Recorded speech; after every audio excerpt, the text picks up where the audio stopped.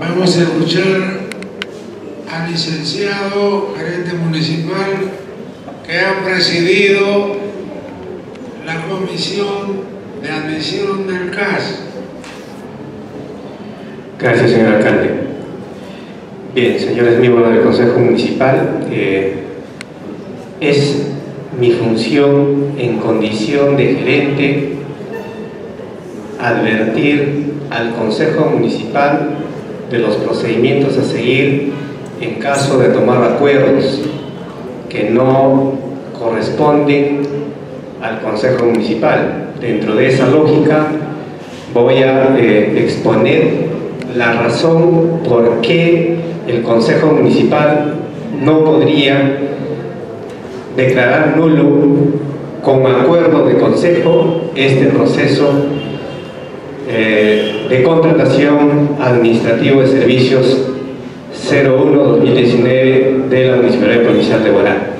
El regidor sustenta de que el Consejo Municipal debería de aprobar las bases técnicas de este proceso de selección.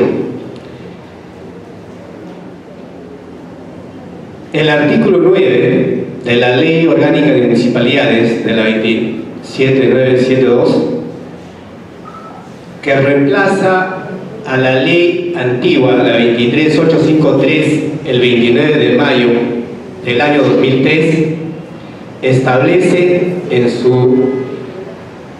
vuelvo a repetir, en su artículo 9, numeral 32, de que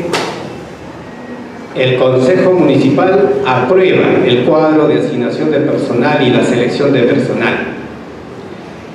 Esto es referido al decreto legislativo 276 y asimismo al decreto legislativo 728. Dice lo siguiente, me voy a basar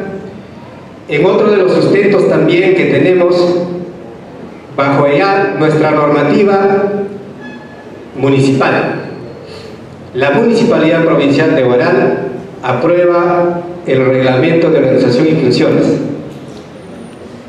vigente a la actualidad, en el cual dice, artículo 10, funciones de la gerencia municipal, aprobar las bases administrativas de los procesos de selección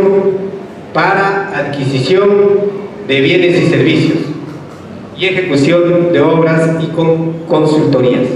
El contrato administrativo de servicio, como dice bien claro, es un servicio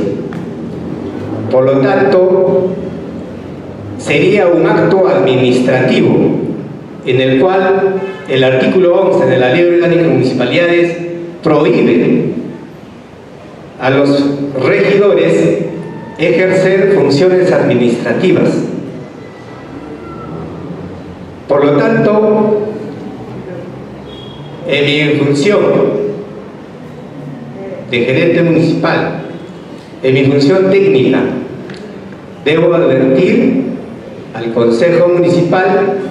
de que en caso de tomar acuerdos, no es una amenaza por si acaso, en caso de tomar acuerdos que no son de su competencia, estarían inmersos en causal de vacancia y otros abusos de autoridad, por ejemplo, en caso de declarar nulo y someter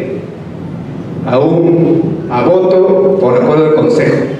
Se ha dado respuesta al requerimiento que ha presentado el señor regidor en dos informes, un informe de la comisión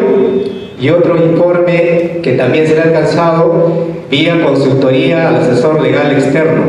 que tenemos como municipalidad, en el cual concluye que las bases del proceso CAS no deberían ser aprobados por el Consejo Municipal por ser eh, una función administrativa. Recomienda asimismo poner el, presente informe en conocimiento de los, de los, miembros del Consejo Municipal a fin de que evalúen su opinión respecto a la anulación del proceso CAS 001-2019.